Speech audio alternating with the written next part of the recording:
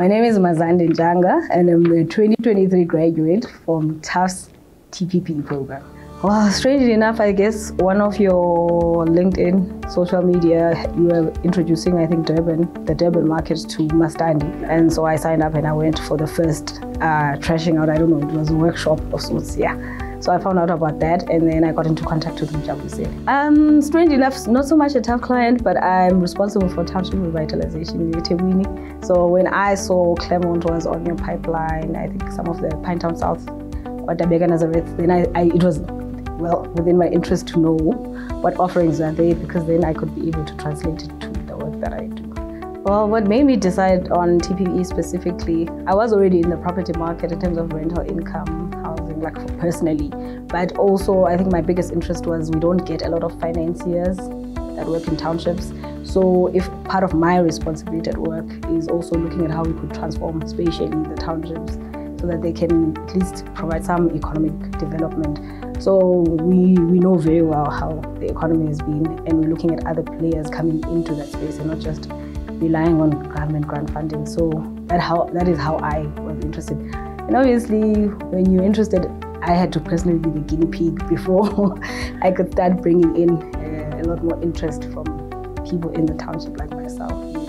Um, I think more than anything, because I'm in local economic development, it, it made a lot of sense, but it might have been a question of not knowing how to sequence the process of um, streamlining almost your your idea into something tangible to a point of it being a viable business case. So the part that was missing, I guess, on my end was how to make my ideas into something that was viable, that I could that could be sellable and could translate to capital. So my experience and what I, this program gave me is how then do I translate my ideas, which already had, were in existence, into something that's tangible that I can be confidently putting out there and seeing how I could translate it into some kind of income generation.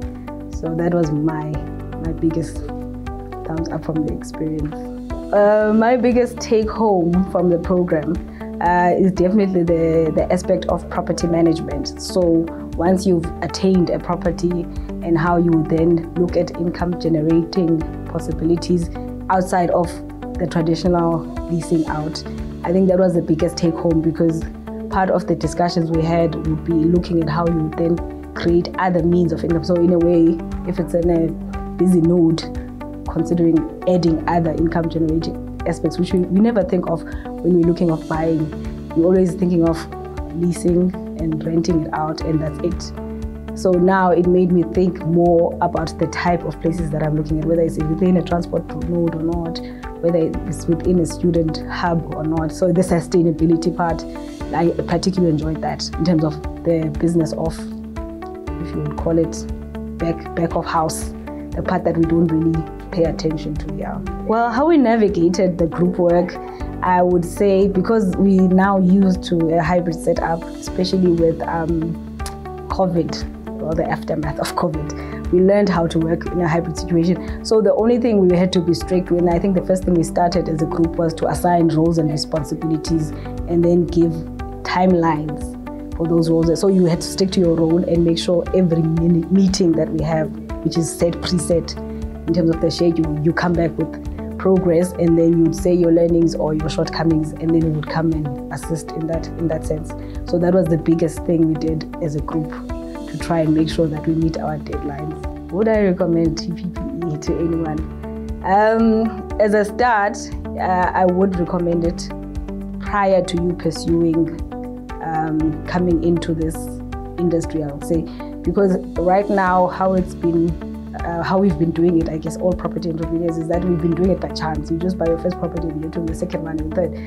And at some point, like I said, it would be beneficial for someone to, prior to investing, finding out what the strategic direction of each uh, metro that you're working in is really, because, like I was saying, most of us don't know what the restructuring zones are for each metro. So it is, if you buy outside of the restructuring zone, you're not going to get the type of support that you want for densification and the like. So it's very important for someone before you come in to at least look at those things and understand. And you can't understand those things just by word of mouth. You have to be in an environment like this one that will teach you to look at how restructuring zones work and how the city strategy is in terms of support, basically, to entrepreneurs.